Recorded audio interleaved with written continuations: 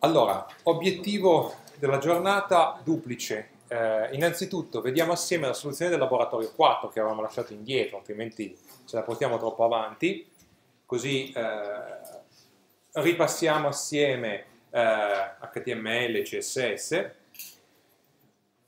e poi riprendiamo l'argomento JavaScript eh, e andiamo a vedere la soluzione al piccolo compito che avevo lasciato la volta scorsa e procediamo con le altre caratteristiche di JavaScript.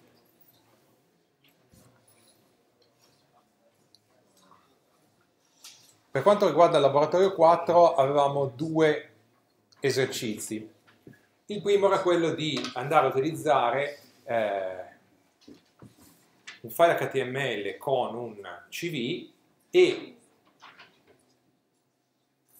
andare a definire un CSS che permettesse di rappresentare eh, alcune caratteristiche visuali, in particolare, allargo un po' il testo, ehm, definire una palette di colori per lo sfondo, il testo normale e i titoli H1, H2, eccetera.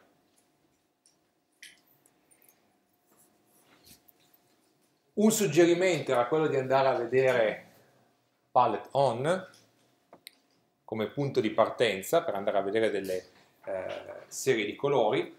Eh, in generale le linee guida sono quelle che vi avevo eh, enunciato parlando di rappresentazione visuale, immaginando di avere uno sfondo bianco, è importante andare a definire colori che siano nettamente distinguibili dal bianco. Quindi eh, colori troppo chiari rischiano di non essere visibili.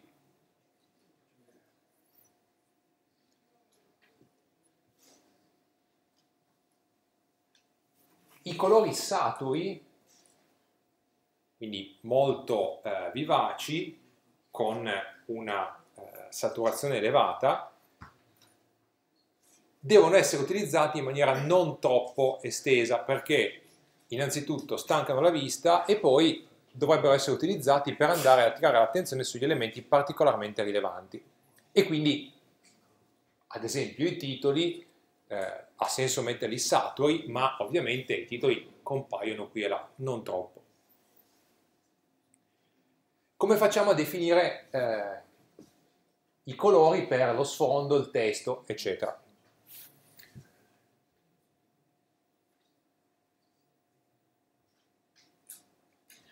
Apriamo il file CV ci interessa poco, è questo, eh, abbiamo titoli, livello 1 che è il, il titolo principale, eh, abbiamo titoli di livello 2 che sono le varie sezioni. Come li definisco? Li definisco con un CSS.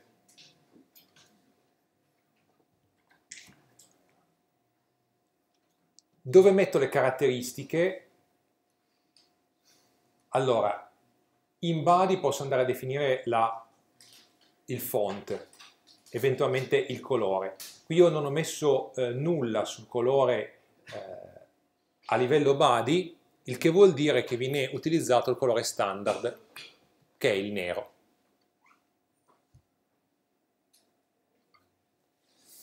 Se volessi mettere un altro colore lo vado a indicare in quel punto.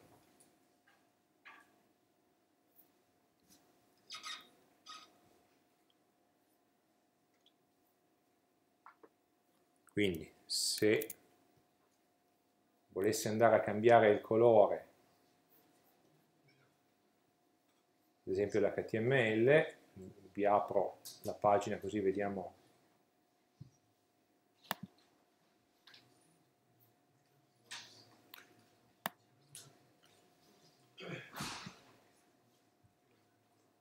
come compare. Allora questo è il testo, eh, vedete che il colore è nero, provo a ingrandire un po'. Vedete che è tutto nero, se volessi cambiarlo devo andare nel file CSS e andare a modificare qua il colore.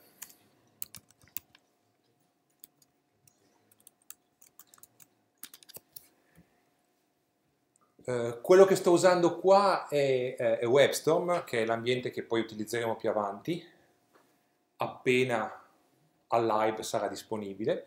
Mi hanno detto oggi che lo stanno installando, quindi spero per l'8 maggio che ci sia. Uh, vi ho detto che potete installarlo anche sui vostri PC perché è, esiste in licenza gratuita per eh, tutti gli studenti, quindi questo è l'ambiente che poi utilizzeremo e utilizzerete poi anche in sede d'esame. Eh, la scelta eh, è ovviamente su colori scuri, quindi questi sono da escludere, il nero è quello standard che è quello che ha una maggior differenza rispetto allo sfondo. Um, brown potrebbe andare, il blu è molto saturo e non è eh, abbastanza scuro, quindi conviene piuttosto andare a scegliere eh, un dark blue.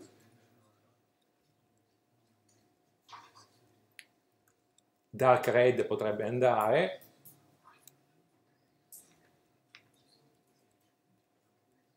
Vedete, sono tutti abbastanza eh, chiari,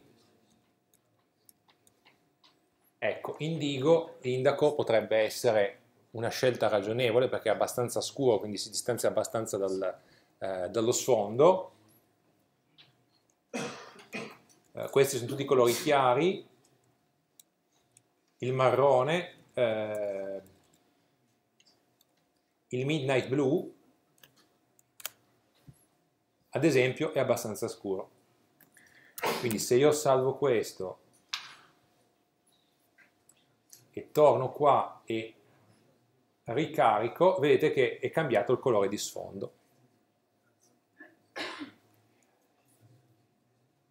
Io applico questo al tag body e quindi automaticamente quello si applica al tag body a tutti i tag che sono contenuti. Quindi se voglio dare eh, una definizione generale agli elementi eh, di tutta la pagina, li definisco lì. Per quanto riguarda i titoli di livello 1, 2 e 3, il colore che ho scelto qua è un arancione. Vedete che qua l'ho espresso eh, come componenti rosse, verde e blu. Eh, Webstone mi fa vedere nel, sul fianco il colore che risulta.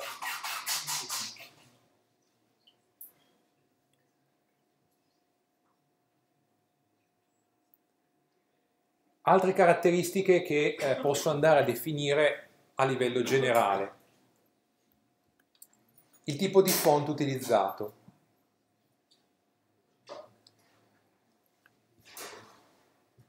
Avevamo detto che le principali famiglie di font in termini di forma sono serif o sans serif. I font di tipo sans serif non hanno quelle che si chiamano le grazie, quindi eh, quei mh, le decorazioni che ci sono di solito alla fine del, dei tratti. Per cui possiamo scegliere un font serif o sans serif e possiamo semplicemente dire, eh, come ho fatto qua eh, in ultima posizione, dire che in questo caso io voglio un font sans serif. Ovviamente la scelta è lasciata al browser, o meglio a chi ha programmato il browser, che andrà a scegliere un font eh, sans serif tra quelli disponibili sul sistema. Se io voglio essere più specifico, posso andare a specificare dei nomi di font. Verdana, ad esempio, è un font molto diffuso sui sistemi Microsoft. Eh, Helvetica Noi è un po' meno diffuso, ma comunque si trova abbastanza. Io posso mettere i nomi, eh, come vedete qua, come Verdana, oppure se il nome eh, del font contiene degli spazi, eh, lo posso includere tra doppi apici. Ho messo tre nomi di font. Cosa vuol dire? Vuol dire che il browser va in ordine e cerca uno dopo l'altro. Innanzitutto cerca di capire se sul sistema eh, in cui viene visualizzata la pagina esiste un font che si chiama Helvetica Noi. Se c'è, utilizza quello. Altrimenti cerca uno che si chiama Verdana. Se c'è, utilizza quello, altrimenti va avanti. Quindi io posso mettere una serie di font in ordine di preferenza, quindi quello che preferisco per primo e gli altri sono opzioni eh, successive, in quello che si chiama fallback. L'ultimo solitamente dovrebbe essere un nome standard, quindi serif o sans serif, in modo che il sistema comunque eh, possa scegliere un font di un tipo o dell'altro che sicuramente è disponibile eh, su qualunque sistema operativo.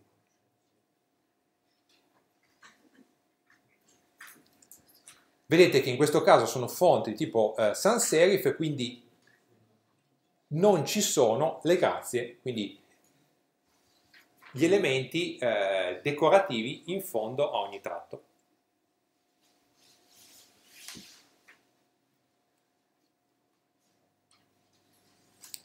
Altra caratteristica che qua ho, ho inserito è l'altezza delle righe, line 8, ovvero quanto vengono distaccate eh, le righe di testo una dall'altra. 130% vuol dire che eh, la distanza tra le righe corrisponde al 130% dell'altezza naturale del font. Se io metto 100% vuol dire che le righe saranno vicine e i caratteri non potranno sovrapporsi. Okay. L'altezza del, del font è 100%, la distanza è 100%, quindi sicuramente non ci sarà sovrapposizione tra, i, eh, tra, le lettere di una riga e di quella successiva. Se io metto dei valori inferiori al 100% è possibile che caratteri che hanno eh, un'elevazione sopra la base molto alta e caratteri che hanno un, eh, un abbassamento che stiano in righe eh, una vicino all'altra possano sovrapporsi. 130% vuol dire che ho un 30% in più di margine tra le righe, che, come vediamo qua, permette di vedere le righe abbastanza distaccate. Se invece di mettere 130% io mettessi, eh, che so, 70% e vado a ricaricare la pagina, vedete che ho una sovrapposizione, ad esempio la G eh, tocca la O.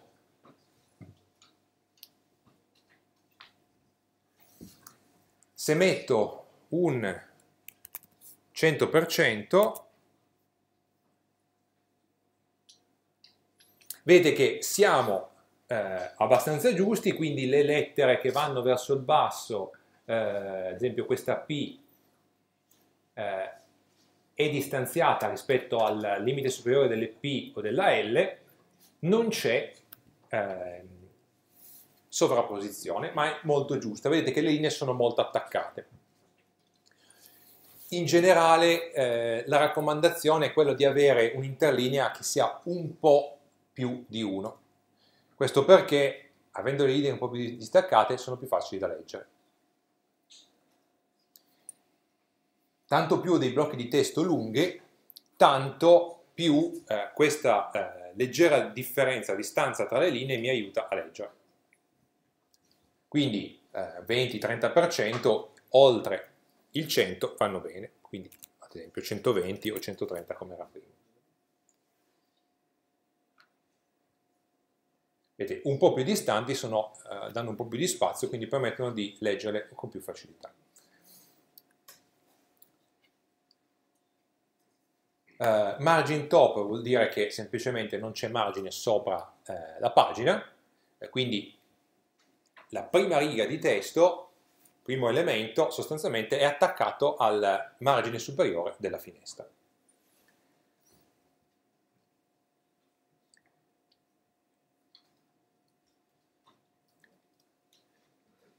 Tipo di carattere ne abbiamo parlato, eh, abbiamo visto serif e sans serif, ehm,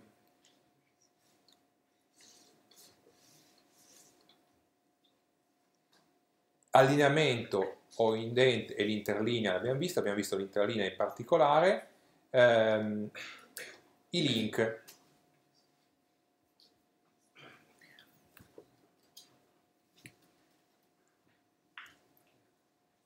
Allora, eh, a due punti link si riferisce a tutti gli elementi di tipo A che contengono un riferimento, quindi un attributo a href. Io posso avere attributi tipo A che non contengono un attributo href e quindi quelli non saranno eh, evidenziati con quel colore brown. I link visitati eh, avranno un colore che è eh, arancio e eh, i link su cui io transito avranno eh, quelle caratteristiche. Allora, la, solitamente quello che viene variato per un link su cui io transito con il cursore è il colore, ma ovviamente CSS mi permette di andare a modificare qualunque altra caratteristica. Qui, eh, come vedete, ho cambiato sia il colore, quindi diventa eh, viola, eh, sia il colore di sfondo, che è un eh, colore molto chiaro. Proiettato si vede un poco, ma eh, in realtà è una specie di giallino molto chiaro. Per cui, ad esempio, quando vado qui sopra, vedete che cambia il colore eh, sia del testo che dello sfondo.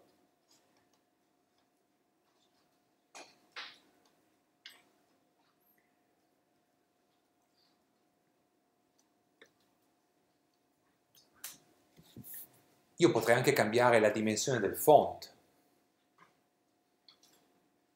o fare qualunque altra eh, operazione.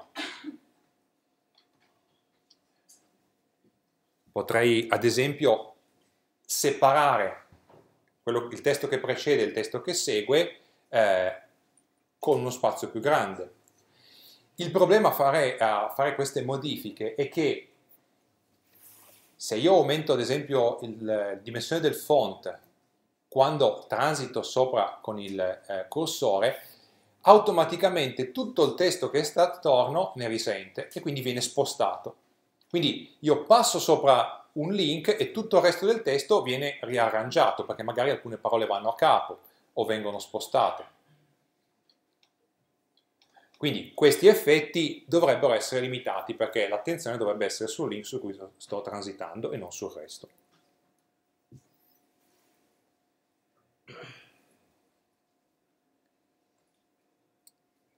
Lo stile delle liste, eh, numerate e non numerate. Quindi qui ho un bullet particolare con questo eh, disegno oppure ho un bullet normale.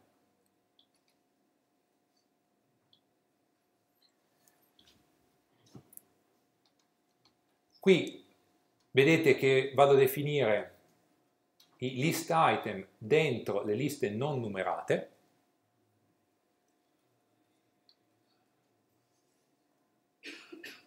Vado a definire eh, un attributo che è outside, quindi sta fuori dall'elemento del list item, e vado a prendere il valore in questa eh, immagine, che è quella che eh, abbiamo visto anche di là.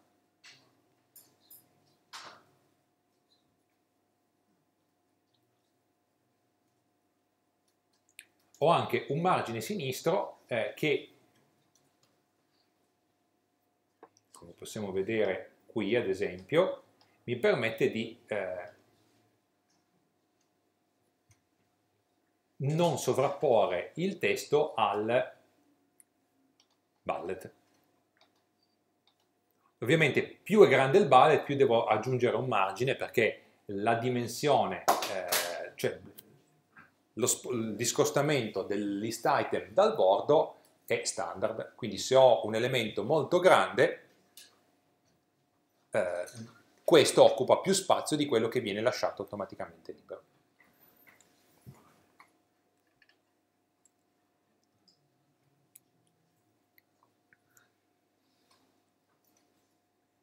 Scusate,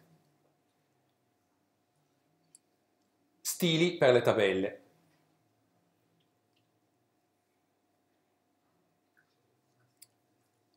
La spaziatura delle righe della tabella può essere fatta utilizzando un'ampia spaziatura verticale tra le righe stesse, oppure eh, utilizzando delle linee orizzontali eh, tenui e non predominanti, oppure utilizzando degli sfondi alternati.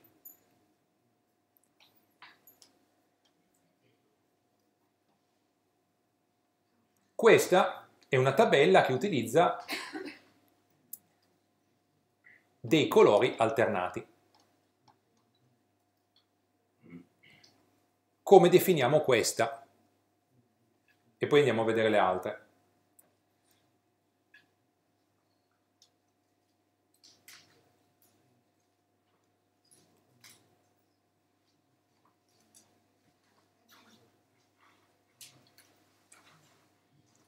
Allora, vedete che qui faccio table.banded rows, quindi vado a prendere i tag di tipo table che hanno eh, come classe eh, banded rows, che è eh, la classe di quella particolare tabella. Vado a prendere il table row che si trova dentro questa tabella e in particolare applico lo sfondo al ennesimo figlio e in particolare i figli con posizione pari.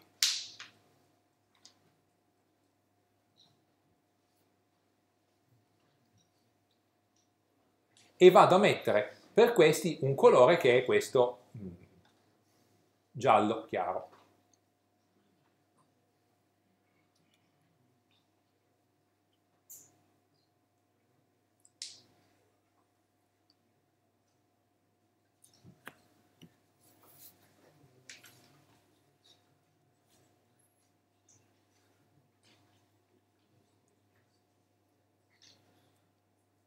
Quindi tutte le righe di colore, eh, di, scusate, di posizione pari avranno quel colore di sfondo.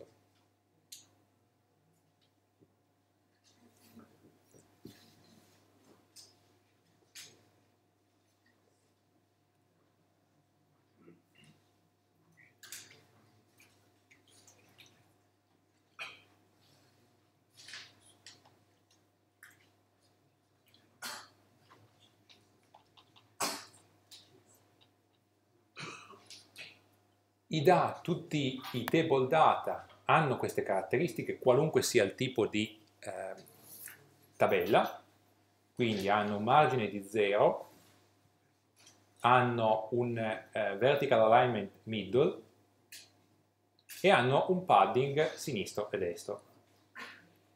Vedete che queste, ehm, questo testo è centrato in verticale, ha un padding, quindi vedete che questo spazio che sta qui sulla sinistra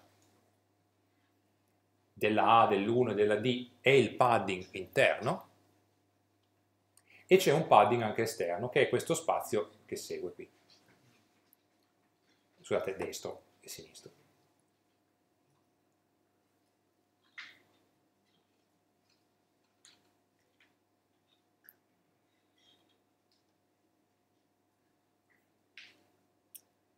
TH sono i table header, quindi questi qua.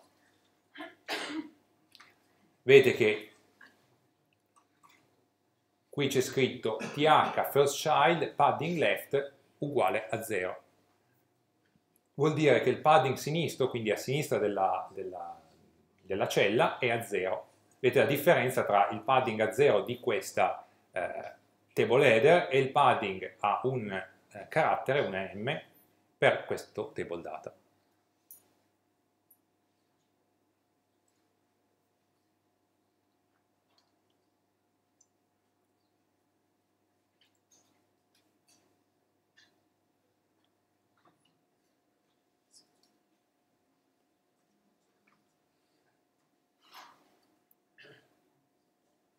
Qui c'è un'altra caratteristica che può essere utilizzata se metto un, eh, una classe reverse sulla tabella, allora tutti i table header che si trovano in quella tabella avranno un background color che è questo viola, eh, un colore che è questo giallo e un border bottom che è questo arancio.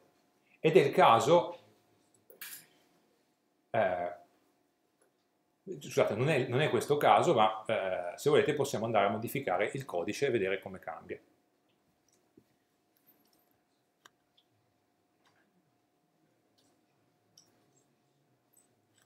Quindi, se io vado a prendere il CV e vado a prendere la tabella di esempio,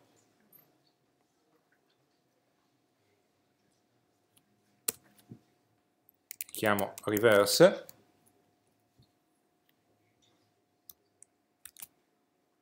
salvo, ricarico la pagina, non fa nulla, perché non si chiama reverse,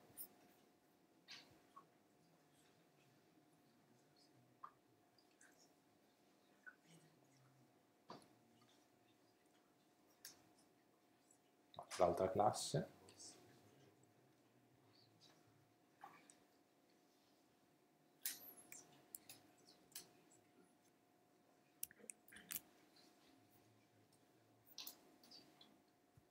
Ok, l'altra classe interferiva con questa perché mi dava la banda, quindi reverse mi dà eh, l'inversione delle due.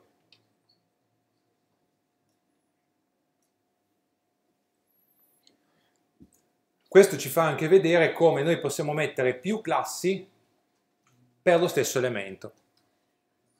Basta mettere eh, le parole chiave separate da spazi.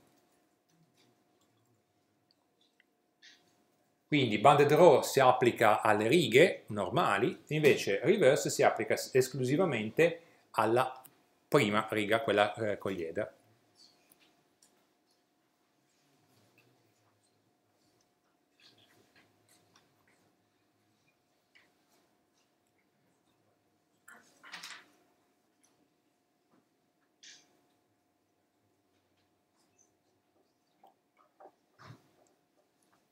Definire uno stile per le sezioni.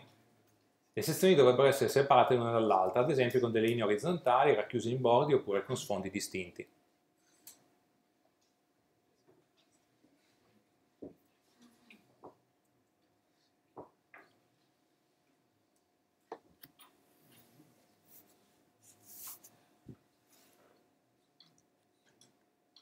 Allora, una sezione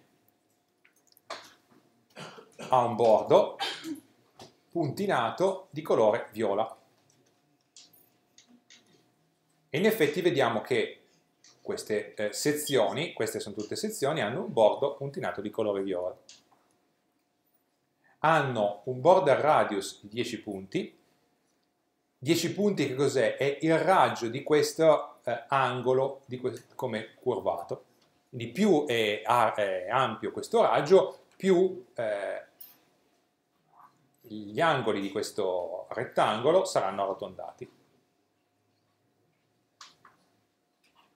Padding eh, 0, 5, 5 vuol dire che eh, 0 in alto, eh, 5, 5 eh, ai, eh, ai lati, e abbiamo poi un margine eh, di 5 punti tutto attorno e di 160 punti a sinistra. Ricordatevi che l'ordine con cui vengono dati questi elementi è eh, alto, destra, basso e sinistra, in ordine eh, orario.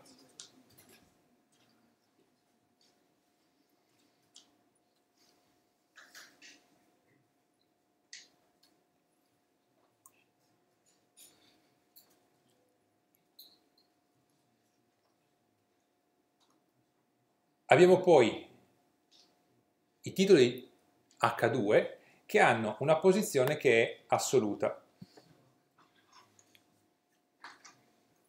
Allora, vi prendo l'HTML così eh, vediamo come è fatto l'HTML e quindi come viene eh, poi visualizzato. Vedete che noi abbiamo una sezione dentro un titolo e eh, gli elementi.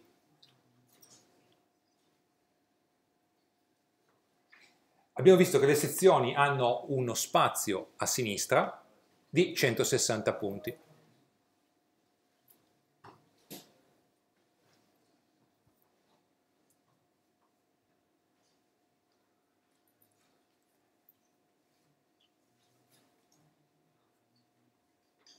Avendo una posizione eh, assoluta, gli H2 non seguono eh, le sezioni. Okay? Essendo l'H2 dentro la sezione nell'HTML, eh, se non ci fosse questo attributo di posizione assoluta, eh, l'H2 ragionevolmente dovrebbe stare dentro la sezione. Okay? È il primo elemento, quindi sta nell'angolo in alto a sinistra. Io qui vado a dire che la posizione è assoluta e definisco eh, soltanto la posizione sinistra. Quindi dico left uguale a 0 vuol dire che l'H2 sarà posizionato sostanzialmente sul margine sinistro della nostra finestra. E in effetti vedete che l'H2 è posizionato in posizione 0 quindi subito sul margine sinistro. Per quanto riguarda la posizione verticale, non avendo detto nulla, sostanzialmente viene definita dall'elemento in cui si trova, che è la mia sezione. Quindi la sezione, che è tutto il rettangolo eh, arrotondato, è spostato di 160 punti, abbiamo visto che c'è un margine sinistro di 160 punti, eh, l'H2 ha come posizione assoluta orizzontale 0, quindi contro il margine sinistro, e ha una eh, larghezza di 160 punti. Okay. Width 160 punti. Per cui l'H2 e la sezione vengono messi uno di fianco all'altro e l'H2 viene messo di fianco alla sezione in cui si trova.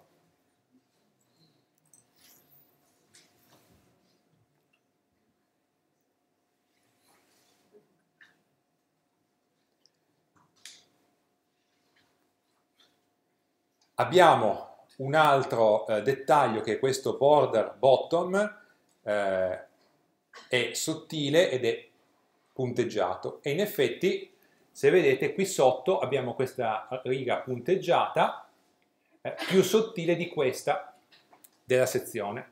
La sezione aveva eh, come spessore del bordo un punto, questa qua è 0,5 punti.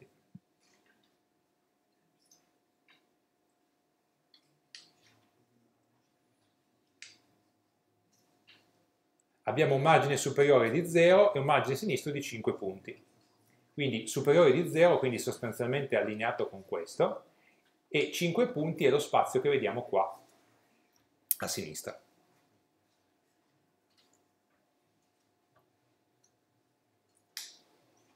Quindi in questo modo, pur essendo l'H2 nell'HTML dentro la sezione, viene visualizzato alla sua sinistra.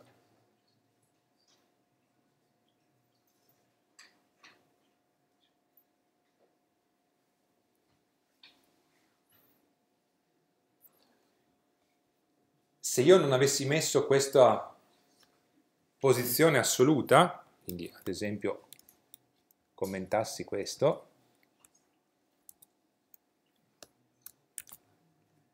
quello che ottengo qui è che questo H2 finisce dentro.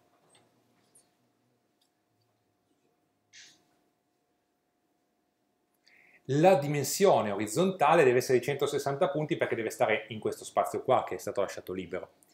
Eh, se io invece di mettere, eh, torno alla situazione precedente, quindi lo metto con posizione assoluta eh, alla sinistra, avessi messo qua, eh, che so, 360 punti,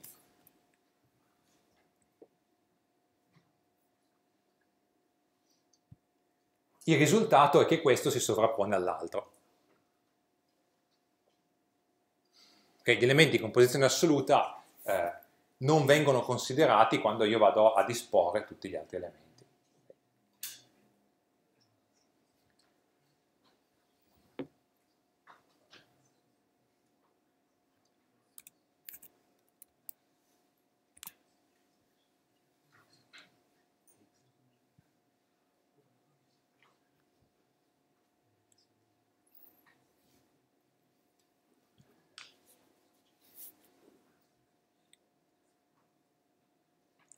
Ok, eh, altre caratteristiche, eh, lo stile delle immagini. Allora, l'immagine eh, qui di Buzz Lightyear, come vedete, è quassù e eh, è a fianco del nome. Eh, il nome è a capo perché semplicemente il font è troppo grande. Ecco, vedete, se, se ristringo un po' il font resta qua e il testo sta qui alla sua sinistra. Questo perché vuol dire che eh, l'immagine ha come caratteristica float right. Quindi è un'immagine flottante ed è allineata a destra e il testo gli sta attorno.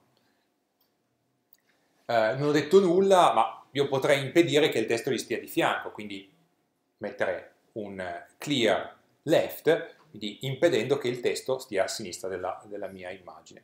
In questo caso non mi interessava, eh, lo metto tutto a destra all'interno dell'elemento in cui si trova, che è un'altra sezione, e eh, vado a vincolare anche quella che è la sua larghezza massima, 100.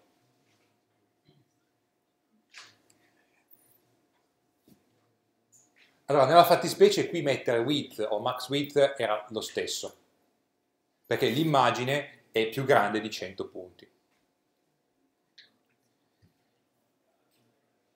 La differenza c'è se l'immagine originale è più piccola di 100 punti. Allora a quel punto se io metto width uguale a 100 l'immagine viene dilatata. Se io metto max width a 100 allora se l'immagine è più grande viene ridimensionata a 100 punti. Se è più piccola ha la sua dimensione originale, quindi senza doverla scalare in maniera uh, innaturale.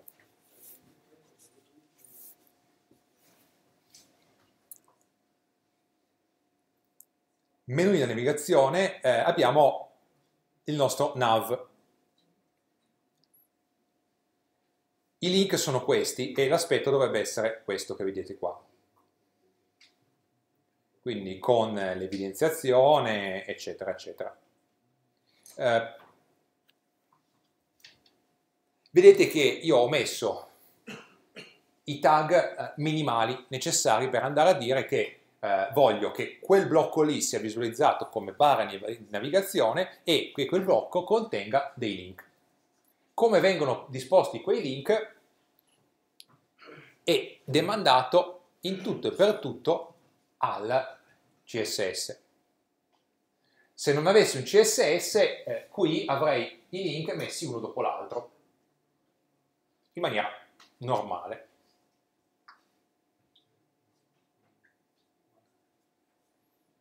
Invece ce li ho come blocchetti che vengono eh, disposti uno dopo l'altro con uno sfondo, con un separatore, eccetera. Come viene fatto questo?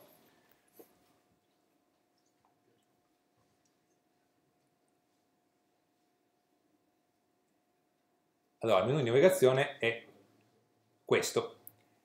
Allora, abbiamo un background color che è questo eh, viola chiaro, abbiamo uno spazio, una spaziatura tra le parole che è un po' più ristretta e abbiamo un allineamento del testo che è centrato.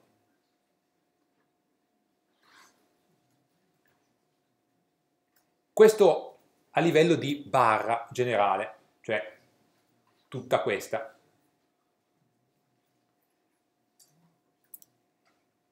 I link di tipo A che si trovano dentro la barra vengono formattati in questo modo. C'è un bordo sinistro che è puntinato e ha, eh, scusate, un bordo destro che è puntinato ed ha eh, come spessore un pixel e ha come colore questo eh, giallino.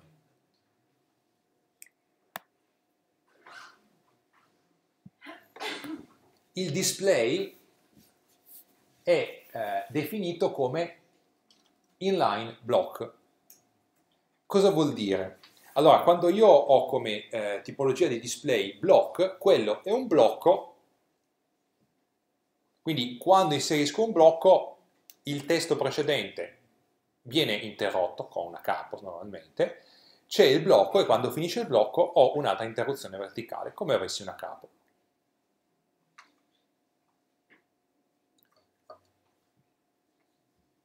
Il blocco però è tutto assieme. Tutto il contenuto del blocco è dentro un rettangolo. Se ho come eh, caratteristica quella di display, ogni elemento viene messo uno dopo l'altro e il contenuto può andare tranquillamente a capo senza problemi. Se metto inline block, il, eh, il motore di visualizzazione cosa fa? Considera quelli, quegli elementi come dei blocchetti, ma non forza la capo prima o dopo il blocco. Quindi è come mettere dei mattoncini uno dopo l'altro in fila. Però sono tutti quadrati e non possono essere eh, messi a capo. Quindi tutto il contenuto della, che c'è nel blocco di tipo A resta unito. Se io mettessi in line, quello potrebbe andare tranquillamente a capo. Eh, Adesso qui eh, l'unico caso è questo dati personali, eh, se io non mettessi in line block, questo dati personali potrei trovarmi, se avessi poco spazio, dati e a capo personali. Okay? Mettendo invece in line block, quel dati personali viene considerato un tutt'uno dentro un blocco.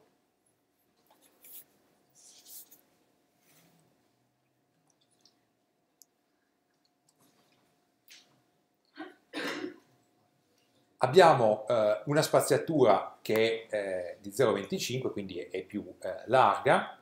Eh, attenzione, questa spaziatura qua riguarda le parole che stanno dentro il blocco A, l'elemento A.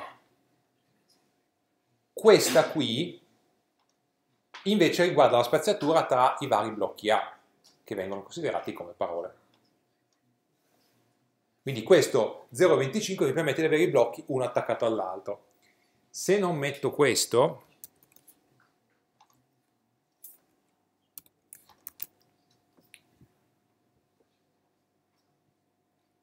vedete che questi si distanziano molto e c'è questo spazio, vedete che c'è quel violetto sotto che viene messo tra un blocco e l'altro che si vede appena, per cui evidenzio fino a quell'elemento e quello 0,25 è la spaziatura che ci sarebbe tra una parola e l'altra. Mettendo la spaziatura negativa, questo spazio tra uno e l'altro viene sostanzialmente eliminato.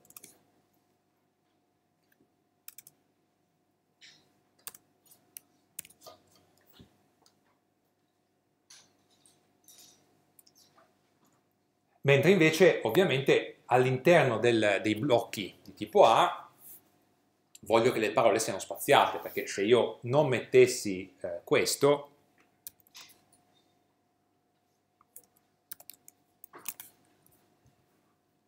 i blocchi di tipo A erediterebbero la stessa dispreziatura tra le parole e quindi mi ritroverei, vedete, dati personali tutto attaccato.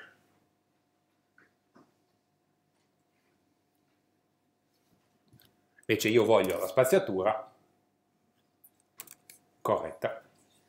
E poi ho un padding di tre punti sopra, eh, un carattere a destra, tre punti sotto e un carattere a sinistra.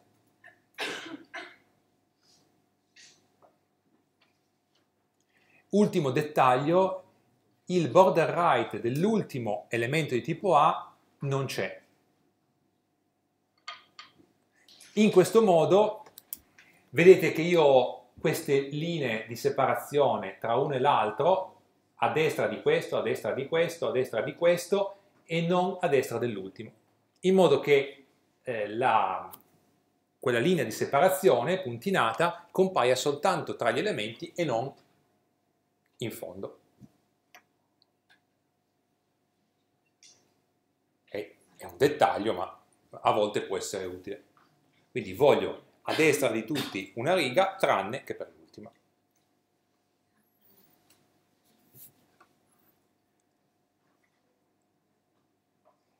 E poi abbiamo l'over. Eh, in questo caso cambio il colore di sfondo, diventa eh, un viola e il colore diventa orange. Per cui quando vado sopra vedete che cambia lo sfondo e il colore.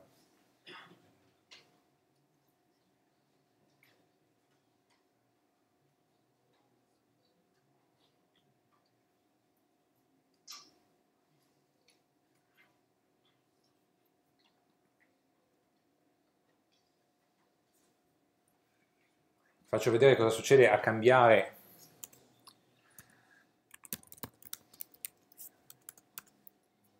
Altre caratteristiche, ad esempio padding left, due punti, 3 m, padding right, 3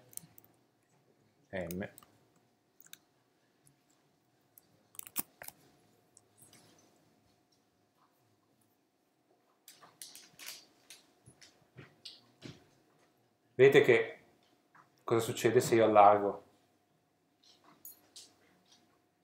Aumento lo spazio di padding a destra e a sinistra e tutto il resto ovviamente salta fuori perché non c'è più spazio per questo, ad esempio per gli interessi, che quindi va a capo.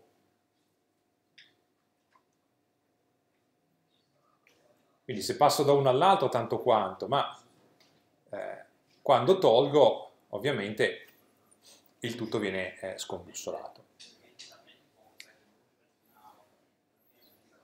Eh, questo effetto può anche essere divertente, ma in realtà eh, per, il, per chi osserva il microfono è andato, per chi osserva ovviamente può essere un problema.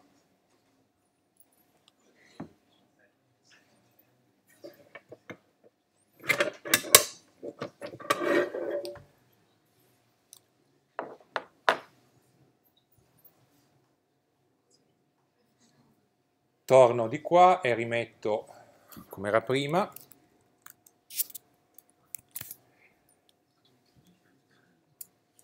Footer e header gli ultimi eh, aspetti che eh, vogliamo andare a definire.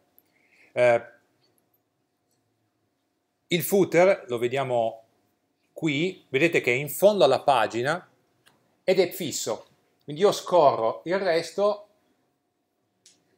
e questo resta lì, immobile. Posso ovviamente scorrere e questo è l'ultimo elemento. Eh, come faccio a realizzare un footer di questo tipo? Lo vediamo qui.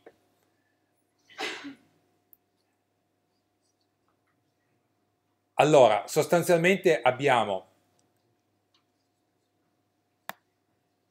una posizione fixed, quindi è assolutamente indipendente da tutto il resto del, eh, del testo, e bottom, quindi la distanza dal, da quanto, dal margine inferiore della, eh, della finestra è 0. Quali sono i due elementi fondamentali?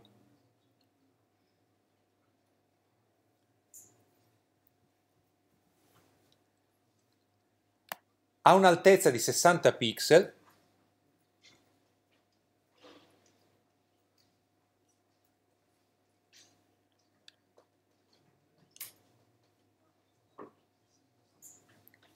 e per il resto non ha molte caratteristiche, ha una larghezza di 100%, quindi è larga come tutta la finestra, per cui se io eh, ridimensiono la finestra, quello mi occupa tutta la larghezza, eh, ha un padding interno, ha un certo background color, ehm, ha un'altezza 1,1, quindi 110%, eh, ha un font size del, scusate, ha un font size del 70%, quindi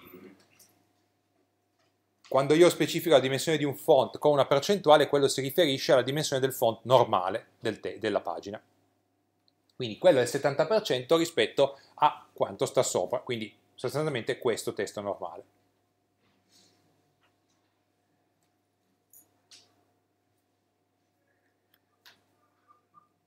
Ha un bordo eh, superiore e inferiore e viene visualizzato come un blocco in modo che il testo non possa eh, dargli fastidio. In realtà, avendo una dimensione del 100%, eh, questo è poco rilevante.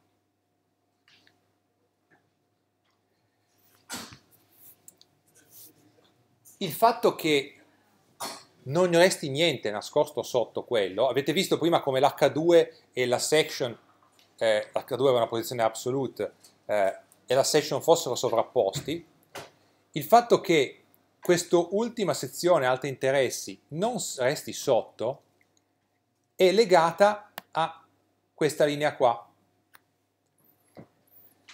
Body, vedete che io ho rimesso lo stesso tipo di tag una seconda volta. Io posso mettere tante regole quante voglio per lo stesso tipo di tag, vengono messe assieme. L'ho messo qua perché così si legge meglio vicino all'altro footer.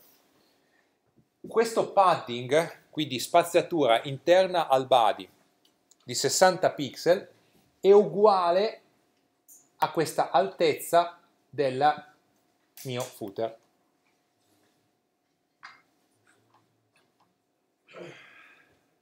Per cui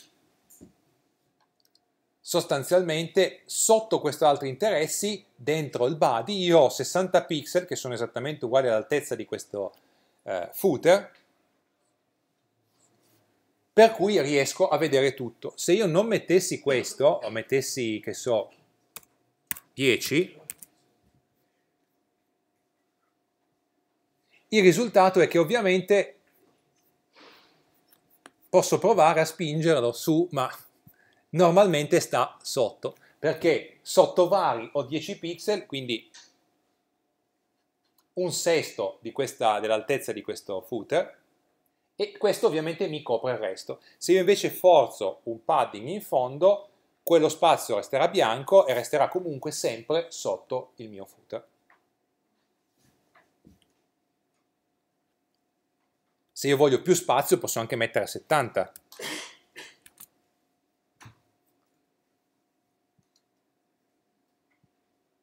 In questo caso vedete che qua ho un po' più di spazio sotto il vari. Ho 10 pixel da qui al fondo della pagina e quello è il padding del mio body. Il footer è alto 60 e quindi ho un margine di 10.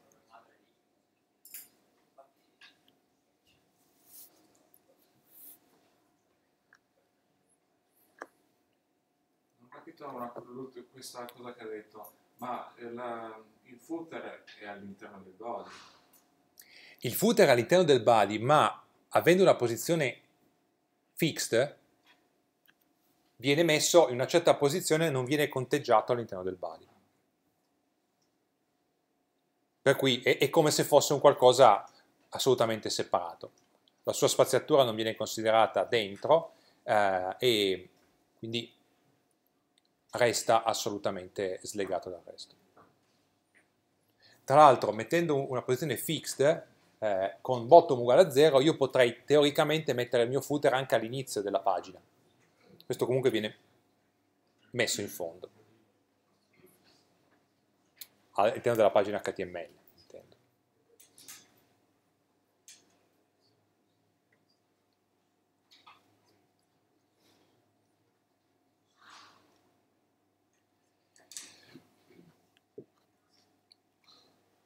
Allora, secondo esercizio, così vediamo velocemente anche l'altro, eh, questo era la tabella HTML con la classifica e eh,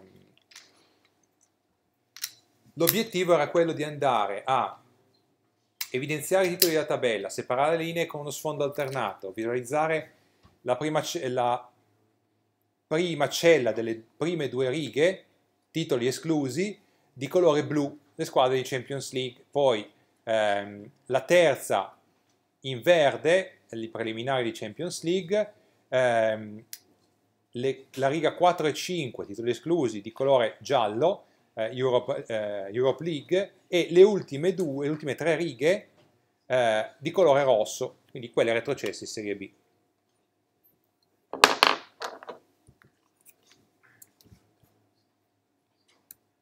Vado ad aprire la pagina HTML, che è questa,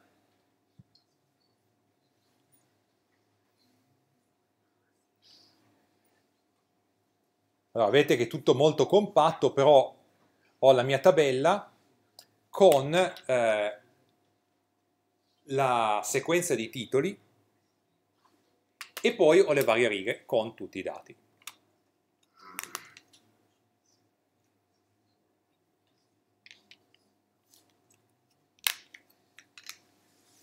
Quindi l'HTML non contiene nessuna informazione di visualizzazione o di presentazione. È tutto dentro il CSS. Come è fatto il CSS? Il CSS è linkato qua, vedete con un link rel uguale style sheet e href la mia classifica. Eh, vi apro anche questo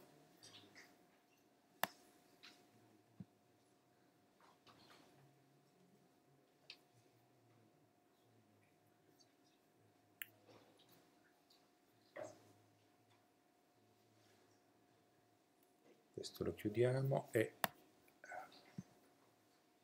vi riporto questo.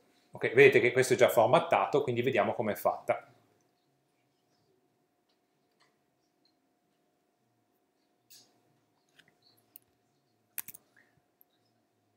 Il CSS è questo.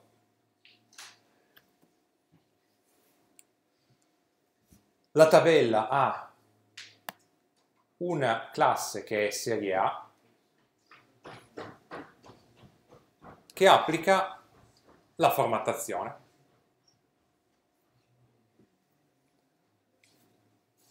Allora, eh, innanzitutto che cosa voglio fare? Voglio andare a mettere eh, le righe alternate un, con un colore di sfondo eh, che è questo grigio. Per cui faccio table serie A spazio row figlio ennesimo 2n più 1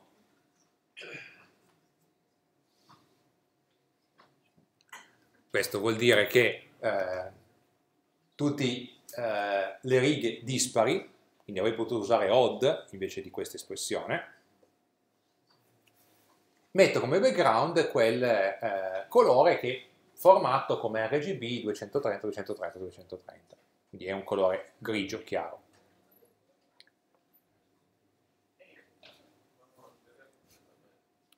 E in effetti vedete che le righe sono di colore alternato.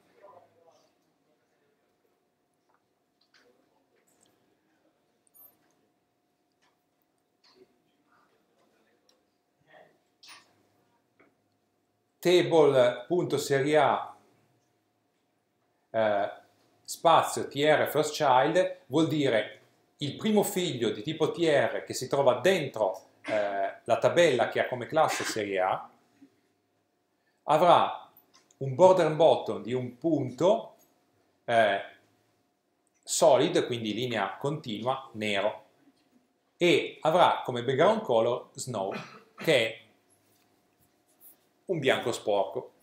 Okay? Qua non si vede eh, lo vediamo qua, in realtà non lo distinguiamo dallo sfondo.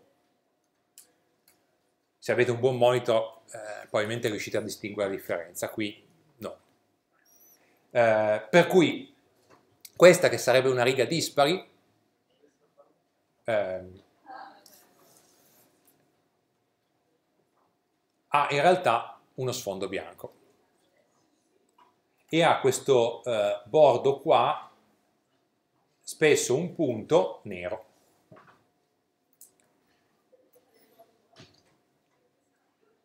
ogni cella sostanzialmente ha un padding di tre punti, in modo che ci sia un po' di spazio attorno, e ha un allineamento del testo a destra.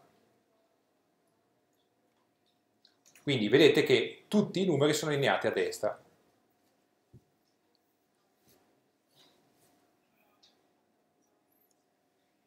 Uno degli errori tipici che si fanno quando si formattano le tabelle, soprattutto quando ci sono delle colonne con dei numeri, è di allineare i numeri in maniera centrata.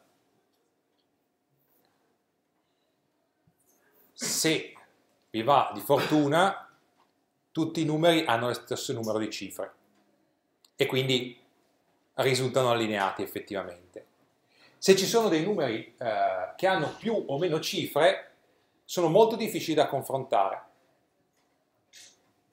per cui in generale la regola è quando avete dei numeri li allineate sempre a destra. Se sono dei numeri con il punto decimale, in teoria dovreste allinearli al punto, in modo che il punto decimale sia allineato.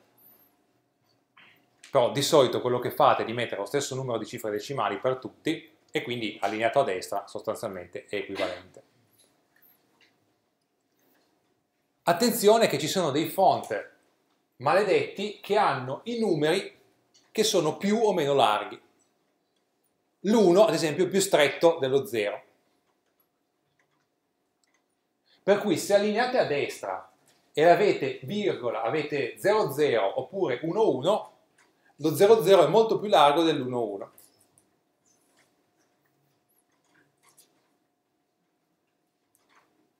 In generale la raccomandazione è se avete dei font così mal disegnati non utilizzateli per andare a mettere dei numeri.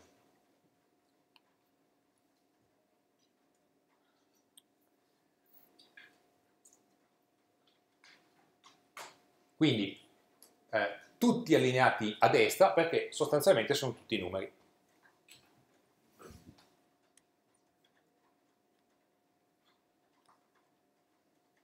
Tranne la prima riga, quindi il primo child di tipo TD, quindi il primo TD dentro, che ovviamente si trova dentro una table row, è la prima eh, cella e questa è allineata a sinistra, per cui i nomi delle squadre sono allineati a sinistra.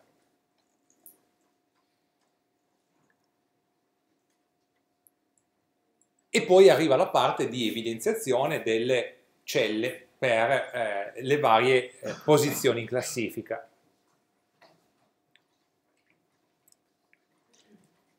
La riga 2 e la riga 3, la prima contiene i titoli e quindi non la contiamo, la riga 2 e la riga 3 eh, hanno quella formattazione, abbiamo un background color che è questo eh, bluette, abbiamo un border left che è questo blu eh, scuro, abbiamo un font weight bold font weight e quanto è eh, pesante il testo, i due valori normali sono normal e bold, ma abbiamo anche bolder oppure un numero tra eh, 100 e 700. Normal e bold riuscite a distinguerli per qualunque tipo di font, quasi. Eh, valori più specifici li, li riuscite a distinguerli soltanto per dei font eh, moderni in cui effettivamente la descrizione è molto particolareggiata. Abbiamo poi un color white perché sullo sfondo, vedete qua, eh, il bianco risalta meglio del nero, è sostanzialmente invertito. Per gli altri, ad esempio i preliminari di Champions League, abbiamo come caratteristiche questo, font, questo colore di sfondo che è un verdino, eh, il bordo sinistro e poi abbiamo di nuovo font weight bold.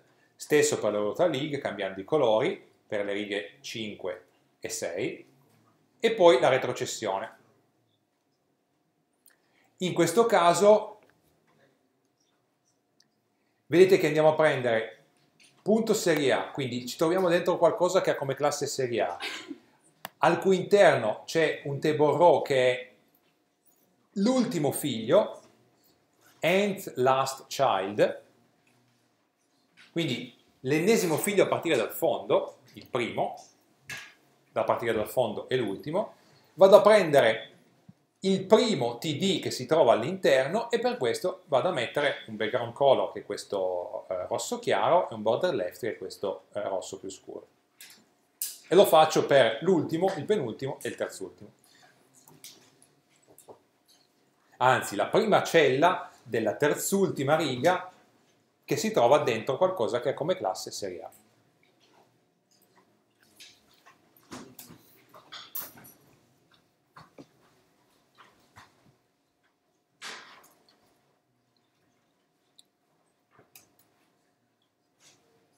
Domande, dubbi?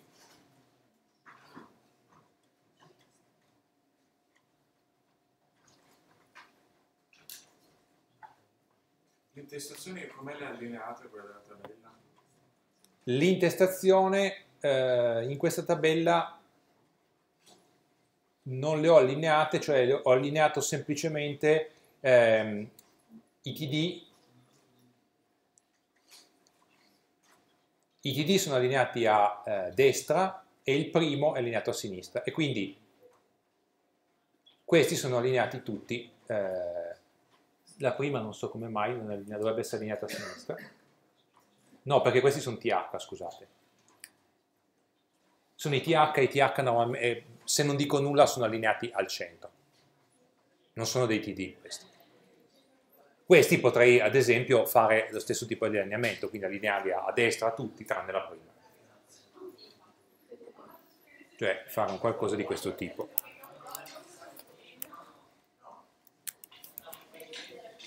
Lo faccio anche per i TH, quindi TH e TH.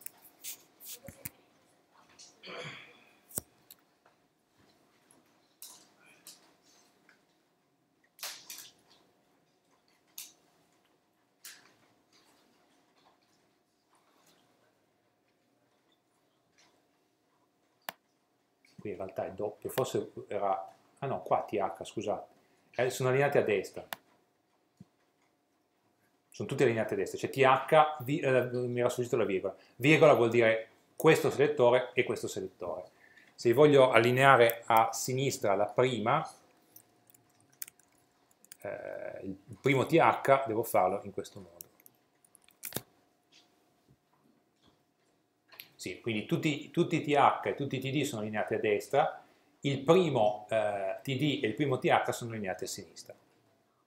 Quindi se salvo e ricarico, ecco, mi si sposta questo.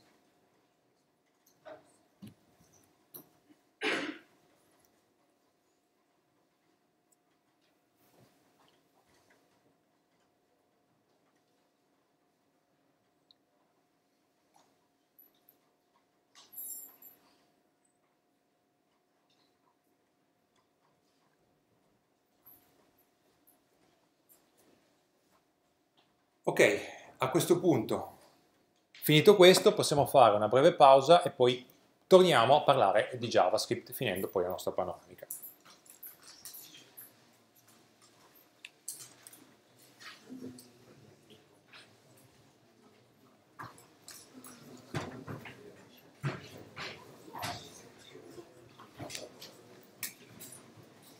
Posso chiedere una cosa? Sì, certo.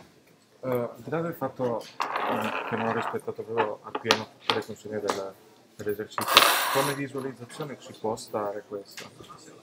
Cioè, non tenendo conto di tutte le richieste. C'è qualcosa che, c'è qualcosa che proprio è sbagliato o che andrebbe migliorato? No, mi sembra che più o meno sia corretto, nel senso che comunque i colori si leggono eh, I titoli sono diversi, qui non so che font hai usato. Quale? Font eh, sans serif, hai usato un serif per i titoli. Sì. Va bene perché così li distingo ancora di più. Direi in generale sì, mi sembra ragionevole. Io poi per i link eh, facevo questo espediente qua piuttosto che...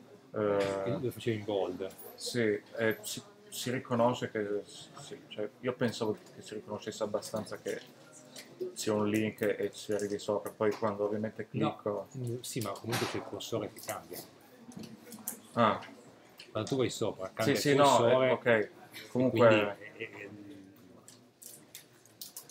ci, può, ci può stare. sì, ci può stare. Ok, Poi messo, messo lì è ovvio che è un- sono dei link, si sa. va bene. Ehm, io ho scaricato WebStorm, no? Solo Sì. che mi chiede la licenza quando... Devi fare una richiesta, Se faccio gratis in 30 giorni. no, devi fare una richiesta sul sito di WebStorm. Ah, sul sito. Vai sul sito di WebStorm, eh, fai una richiesta di licenza come studente, Ah, eh, in base alla tua email vede che sei del Politecnico, quindi sei, di- Ah, ok, sei uno ok. studente e a quel punto ti, ti manda poi la licenza. Ah, ok, allora lo faccio posto. Grazie. Sì, nel frattempo puoi usare a 30 giorni, però te la, la limita arriva subito Sì. Professore, ma come si apre un progetto su Webster? Perché l'abbiamo scaricato e non siamo riusciti ad aprirlo. C'è un, uno da nuovo. Ah, fate un nuovo progetto e andate a metterlo in una cartella che, che scegliete voi. Eh, c'è, ho provato a fare, se mi fa vedere mi, mi risulta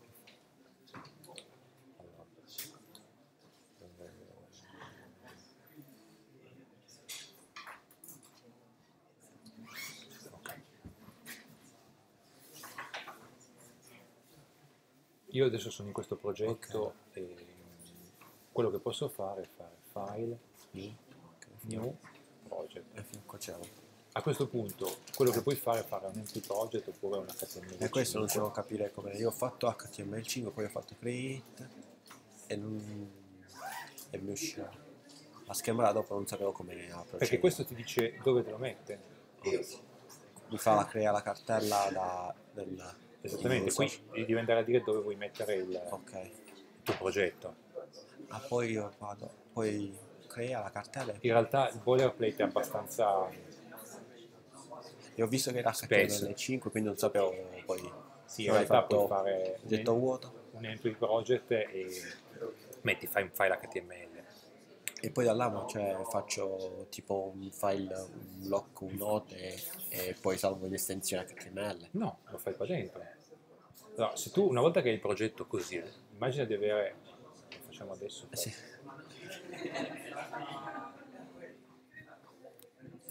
Eh, vabbè, mettiamolo qua, chiamiamolo esempio.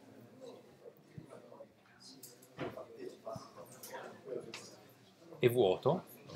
Quello che puoi fare è fare un clic destro qua, new, HTML. Ah, ok, questo qua mi mancava questo passaggio. Poi faccio HTML, Java e... E lo chiami, non so, eh, esempio.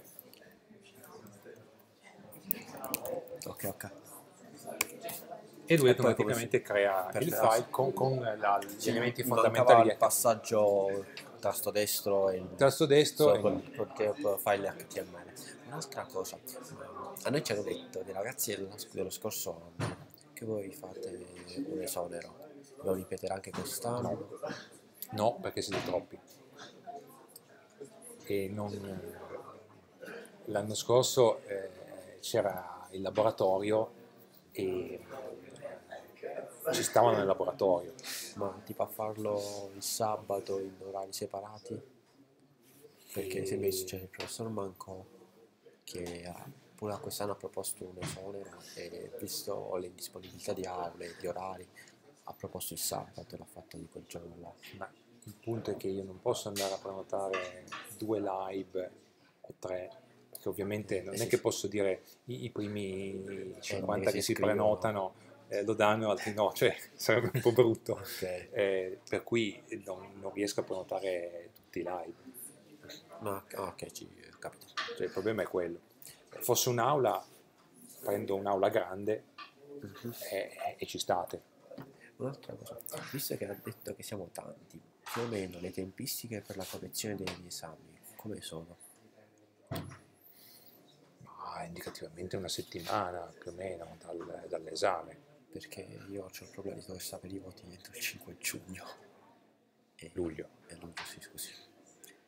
E infatti devo fare la richiesta anche agli altri due o tre professori di se è possibile accelerare. Allora, ehm, in realtà eh, se per l'iscrizione alla tesi, alla laurea, ehm, l'importante è che i, i voti siano registrati eh, con, con una data anteriore alla domanda che non Ah, ricordo quindi se è la, è, no, no, la fine era l'8, giugno, l'8 luglio. Quindi No, ti lasciano fare domanda e se non ci sono tutti i voti registrati la tengono in sospeso. Poi c'è una scadenza ultima che comunque normalmente una settimana dopo la scadenza per voi per fare domanda per- in cui verificano che effettivamente i voti ci siano tutti. Ah, ok. Quindi quello non è un... Ovviamente il voto deve essere registrato con una data anteriore all'8. Ah, ok, sì, sì. Quello il voto deve essere l'esame deve essere sostenuto prima dell'8, però poi la registrazione c'è un, un plus di una settimana. Sì. Ok, perfetto. Quindi mm, cioè, non ho mai avuto problemi di quel tipo. Eh, Non lo sapevo, ho letto che c'era scadenza l'8 luglio, non sapevo che... Sì, voi avete dovuto dare tutti gli esami entro, poi se il risultato non c'è entro l'8, Io io, pensavo- io non mi ricordo la data di questo esame. È il 28 giugno. Eh, Ho controllato stamattina, quindi sono abbastanza sicuro. 23 esami, sì, beh, eh, ragionevolmente una settimana dopo, quindi il 5 o il 6 ci, ci sono, cioè, quindi ci sono i risultati prima addirittura della scadenza. Sì, sì. Grazie mille. Va bene. Prego.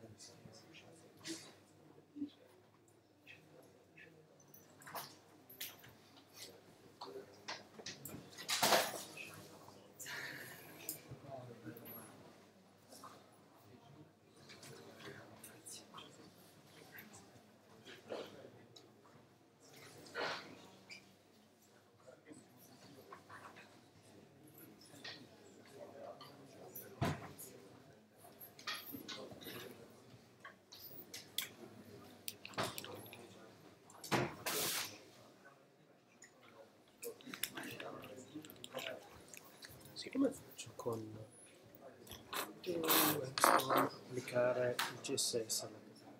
Devi andare in HTML, nell'HTML, devi mettere qua nel, nel, nel Ah, ok, link, sì, link e, E poi dopo eccetera, eccetera. Sì, ok. e devi, devi puntare alla... perché il browser legge l'HTML e quindi deve trovare l'HTML in riferimento al, al CSS.